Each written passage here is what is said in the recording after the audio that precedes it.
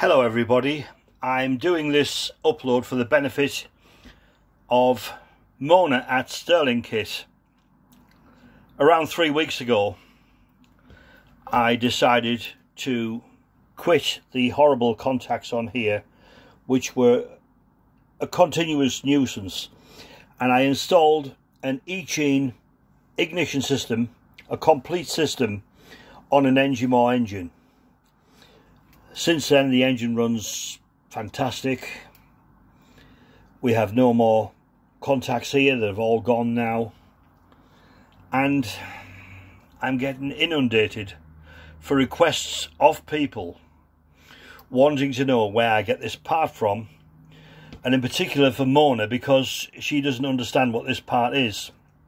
So, Mona, this part is a little disc with a groove in and a magnet there which triggers one of these little sensors hidden under there. To make things a bit easier I've done this you see so she maybe understands. This one as you can see is the wrong part with a groove in. That's the wrong one. The correct one is this one here or a tiny magnet and a tiny groove for a belt. That is the correct one.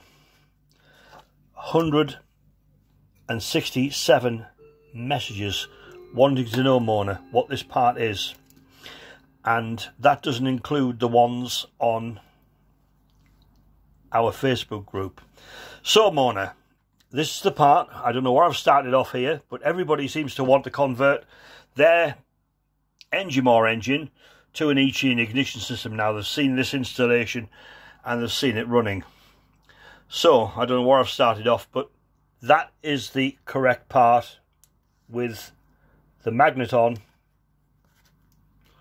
which goes there. Hope you understand that, Mona. Thank you for watching. Bye.